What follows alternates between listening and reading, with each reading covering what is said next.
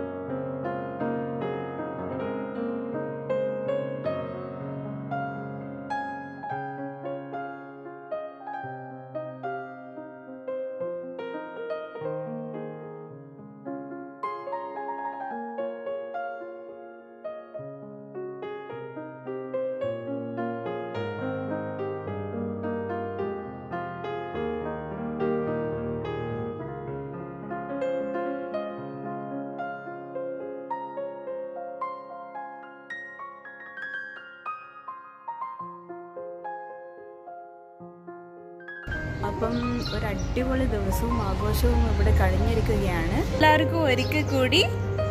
happy Vishu വീണ്ടും അടുത്തൊരു video ആയി കാണുന്നത് വരെ എല്ലാവർക്കും ബായ്